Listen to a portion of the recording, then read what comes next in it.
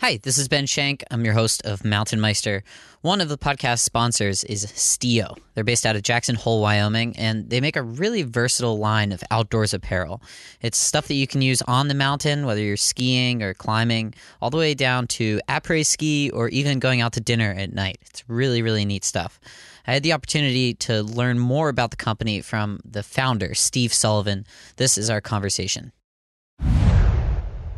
Well, the founding of Stio occurred um, after the demise of my former company. Uh, my former company was called Cloudveil, and I uh, attempted to purchase that company back out of uh, ownership um, through a large private equity fund that also owned Spyder, and I was unsuccessful. And so I took a little time um, after leaving that company and and decided to do do it differently. And the the two biggest principal differences are one that we were going to focus on the direct consumer market. So, um, and then the, the second one was we were going to focus on on the consumer um, within that market and let the consumer help decide what the product line would ultimately be. Um, so we, meaning that we're getting such uh, we have a much you know d- more direct connection with our consumers than when you're in the wholesale channel and you mm. know you're removed by the retailer. So we we went out and we designed and developed a line, and then we launched um, an e-commerce platform, a brick and mortar retail store, and a cataloging business all within a month of, of each other.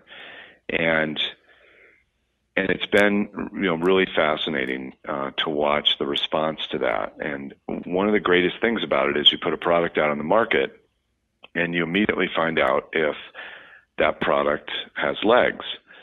So unlike again the the long lag with the wholesale channel where you go from you know a sales meeting or design and development to a sales meeting to then trying to sell into the retail stores and then another nine months until the retail stores have either sold it or not. We put a product on the market and we find out within about 30 days whether that product is going to have some modicum of success or it's going to have great success. And then we build upon those product platforms. That's amazing. Um, and that's, yeah, and that's probably been the, the most exciting part about being in the direct consumer business. And the reason I decided to do that was that um, my former company also had um, some direct consumer business. And one of the things we started to find as we got larger and larger is that the products that, that were a little more eclectic, that were a little more highly designed, that were a little more interesting, we were selling really well in our direct channels and in our retail store, but we were not able to place those in the wholesale channel. And that was really an impetus saying to me that we we can go out and be different and push design farther and and textiles farther, um, and the consumers uh, will like that. And and so far, so good. So tell me about. I, I want to hear this the nitty gritty of listening to the consumer because that's how you'll drive business. Tell me about uh, a specific example, maybe of when you were first starting out, of how you listen to the consumer. Um, I have a great example. The, the first year we, we came out with a, uh, a waterproof breathable collection called the Environ, which is still in our line. But at that time, we were using a, a much different textile that was much more expensive. And we went out to the consumer market and, and priced that garment at about the jacket, for, for an example, at $650. Mm. And the consumer immediately spoke to us and said, Great jacket, too expensive. And so the feedback we were getting from people that did purchase it was was that really liked it, but we didn't like the value we got for the six hundred and fifty dollars. So we re-engineered that garment over the course of the next year with a different textile that was still a high high performance textile, but we're able to get it in at a consumer price point where the consumer thought that the price value equation lined up better. Mm-hmm. And that has now become one of our best selling winter jackets. Which one so, um, that's the Environ jacket, which is a fully waterproof, breathable uh, ski piece, ski, mm-hmm. snowboard, you know, snow sports piece. And without having that feedback being so quick. You know, I mean, we we got that feedback within the first month of putting this product on the market. We wouldn't have known to re-engineer that garment to satisfy the consumer's value proposition, and so that was a really immediate piece of feedback that we now, you know, we apply to almost everything that we build. So if we get consumer feedback that like great shirt, awesome textile, great price point, thanks so much, we know we're onto it, right? If we get it back, great shirt, um, great textile, I think you guys are a little too expensive for this style, then we take a hard look at that. Now we don't, you know, we have to also factor in that we have margins and and um, and you know a business to run, so we can't just hand stuff out. but but we listen to our consumers and we get such immediate and direct feedback from our consumers, mostly positive, which is great. That we're able to make changes really rapidly and makes us a lot more nimble than being in the wholesale channel. Absolutely. And another advantage of going direct to consumer is the cost savings for the business. What would a uh, comparable quality piece, how much more expensive would it be if you are to go through the retailer? Well, you know, there, there's a lot of uh, there's a lot of costs to running a direct consumer business. Hmm. So, um, quite honestly, in a lot of ways, it's more expensive than running a wholesale business. Interesting. Um, mainly yeah, mainly because you have to forecast your inventory. Mm. You don't have the advantage of, of purchase orders sitting in your lap mm-hmm. so that you know what sold for the season. Um, I would say that the average cost would be 25% higher if we were in the wholesale channel. Interesting. Okay. So passing So it's that... not it's not it's not 50% or anything, uh-huh. but it's about 20 to 25% higher. Well, and then you add on and the, so the the 20% off with the code Meister at checkout. Then all of a sudden you're getting right. close to 50%. Exactly. and so so the the interesting thing what it allows us to do is use textiles, higher quality textiles in some of our products that I may not have used in my previous company. Mm-hmm. So if a jacket is going to be $400 at, um, from us, that jacket would have been about $500 going out to the wholesale channel. We're able to, you know, value engineer more value into the into the product by using a higher quality textile mm-hmm. to for for that application. I loved what you said about feedback earlier. Uh, you might like this analogy. I was reading uh, this book called Zen Golf. You, are you a golfer by any chance? Uh, I am. Okay. I'm not supposed to talk about golf, but I love golf uh, this analogy with golf is uh, when you putt, you always receive feedback, immediate feedback on uh, on whether you hit it too hard or you didn't uh, read the green correctly. And uh, imagine all the decisions that we make in life where we don't receive those immediate feedback. It would be like hitting the ball and never seeing where it ends up relative to the hole. That's a that's a great analogy, and I think that analogy could even be stretched further to you know the people that develop a routine um, learn to line up their putts properly, learn to understand mm-hmm. and how to read the greens. Those are all kind of the business elements, right, of putting. No, good analogy. Uh, I'm curious, what where did Stio come from? What is the origin of the name? I like it. Um, well, it, it, it, hasn't been widely uh, broadcast, but the name is an abbreviation of my first name, Stephen, in Gaelic. So my first name in in, in Gaelic, because I'm Irish, uh-huh. is I'm Irish Scottish is is Stio Fen, S T I O F A N, and a buddy of mine, we were scrapping for names. You know, that so many names have been chewed up in intellectual property land these days, and especially shorter names, which we thought w- was really important, and also names that we could get you know the URL, etc. He he showed up to visit me uh, one summer, you know, five years ago, and he said, "Hey, you know, you're Irish. Why don't you look up some? Uh, you're Irish and Scottish. Why don't you look up some Gaelic names for wolf or bear or elk or deer or some or mountain?"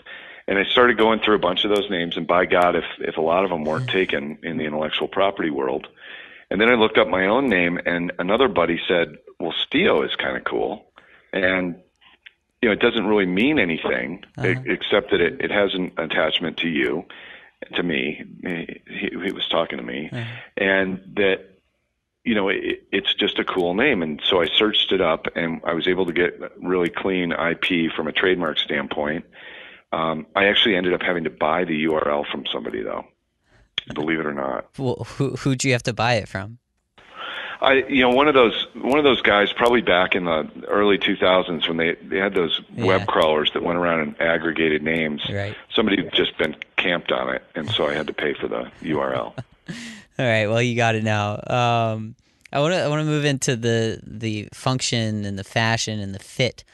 I, I have noticed when when I purchase clothing, uh, for some reason the the lower quality and the cheaper clothing not only doesn't feel as good as the higher quality clothing, but it also the fit is very different, and it seems like if there it has a more restrictive fit in like uh, it doesn't accommodate for a bunch of different body shapes, whereas uh, the higher quality clothing just just seems to fit better uh, across every body type. But it doesn't seem like that should make the product more expensive. What what is it about a high quality piece of clothing that makes it fit so well? Well, I think it's the amount of time and attention people put into it. And, mm-hmm. you know, if it's the one thing I really had going for me starting this company is that, you know, I'd been in the apparel business for 15 years already. And so I, I knew how important fit was. I knew how important fit was going to be, especially in the direct consumer market, mm. um, because you obviously want to mitigate returns. You want to get somebody the right fit first. Um, and so we spend an inordinate amount of time on fit, and I think that's probably the one of the big differences. We we not only have completely customized mannequins, fit mannequins that we use that we spec, and you know there, there these there's this one mannequin company in Hong Kong that just does an amazing job, and they're they're the highest quality mannequins. All the fashion companies use them, et cetera. So we not only spent a good bit of money getting our fit right with those mannequins, but then we use um, three different male fit models and three different female fit models consistently um, every season to fit our clothing. So, and and we also make sure that those people have, although they we want them to conform to some kind of fit standard, we always make sure that there's a little bit of a difference in their body types, right? So one of them might have a longer inseam, one of them might have a, a you know a, a larger measurement at hip than they do at waist, et cetera. And I think the main thing is that we spend a lot of time on fit. We think a little bit differently than most outdoor companies. We think a little bit more uh, from the regard of being a tailor as opposed to just trying to fit the widest variety of people. Mm. Um, we've been accused a little bit of being maybe a little heavy on the athletic side, so a little more of a fitted profile. But that's what our customer base, um, exactly. um, I think, has appreciated in, our fit. You gotta, uh, yeah. If you're providing to the outdoors consumer, especially uh, the active outdoors consumer, it seems like you you would want to fit the athletic person. Yeah, and I and I think that the, the big difference too is that so many people are getting um, there. There's all sorts of new ways to get fit these days, right? It used to be, you know, you were a, a runner or a cyclist mm. or what have you, but those sports have now blown up and cascaded into, you know, cyclocross is a huge sport now, and the whole CrossFit movement is a huge thing, and um, the warrior sports, and so we we've been really cognizant of saying, you know, there is a customer out there because there's so many more people that are paying attention to their health and their well-being and their fitness levels that wants a better fit.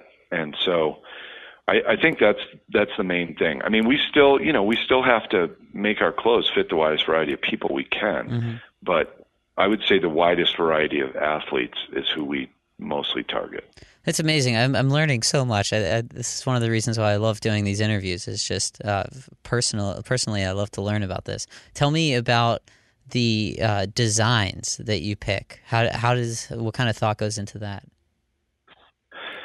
Well, the whole premise of our design philosophy is is rooted in versatility, and and I think we've done an excellent job of of not only communicating that but of providing that. So a great example would be we have a very popular shirt called the Eddie. And the Eddie shirt is a um, pseudo Western style snap uh, button-up shirt that could be worn. I, I in fact have it on today um, in the office, and yet I also used it to ski the entire Haute Route in April with my college buddies. And what it is is it's a, a, a wind-resistant wicking shirt, but it also happens to have this lifestyle appeal, and so that's a good example of a product where we found a textile that had a performance characteristic that we wanted, and then we we applied a design ethos, which is versatility, into that textile, and came up with a product. And that's that's very much how we approach a good percentage of our line. You know, there, there's definitely some more specific products, like our technical outerwear is designed for top of the mountain type of use, and may not cascade into streetwear. Um, but the vast majority, I'd say 70ish percent of our line is is focused on bringing technical textiles into the mountain lifestyle, so that they can cascade throughout a lot of different activities that you might do. Mm-hmm. You mentioned you're wearing the Eddie shirt right now. What does your closet look like? I'm so curious about this. Do you do you just have stio everywhere? How do you? Uh, what does your closet look like? Um, well, what I do is um, I recycle my closet every year. Um, so, well, every season actually. So each each new season that comes out, I get all of our new product so that mm-hmm. because I'm obviously the head of the company, and so I want to be in our most recent product. And then I either give away um, the product to friends and family or um, any wide variety of people. Um, I've even taken a couple big boxes down to our local uh, Episcopal Church thrift store, and I'm sure there were some super stoked people yeah. when that happens. um, but uh, so I, I basically recycle it because otherwise you just build up. You know, there's just too many too many things. Uh-huh. I mean, we uh-huh. have our, our line has over 120 styles now, so you know, I'd have, a, have to have a bigger closet. Right. so I'm a I'm a podcast host and producer, and sometimes I, I like have trouble listening to other podcasts because I'm always like focused on the production side or how the host is saying something instead of listening to what they actually say. When you wear clothing, uh, does something similar happen to you where you you like can't you, you're thinking too much about wearing the clothing? Yeah, I'm I'm by far the most critical person in here, and and I think that's a big part of my job. And so almost every time I wear a piece of our clothing, which is every day, I am thinking about, oh, should the arm's eye on this sleeve be a quarter inch, you know, deeper, or should this sleeve length be, you know, a half inch shorter, or is this snap working the right way, or can I roll this sleeve up the right way? Um, is this hood functioning properly with a helmet on? You know, I'm I'm constantly sending texts to our product development crew. Um, in, f- in fact, they get they just have a log of all of it so that we can you know review it at meetings because you know I don't remember everything, but I or get it out to them immediately so they know what I'm thinking about. But yeah, I'm hyper hyper critical of everything we make. Sully, thanks so much. I, have learned a bunch. I've really really enjoyed this conversation. Uh, 20% off for our listeners. And from what I have seen online, it is tough to get a 20% discount on Stio clothing. So thank you for that. You're welcome. Hey, thanks for listening to this segment. Hope you enjoyed it as much as I did and you learned a lot. Go to Stio, S-T-I-O dot com to learn more. And when you're ready, use the code Meister, M-E-I-S-T-E-R at checkout. You'll receive 20% off. Again, that's the promo code Meister at checkout for 20% off. If you have any questions at all, feel free to shoot me an email, ben at mtnmeister.com. Stio sent me some product, and I'd be happy to share my thoughts with you.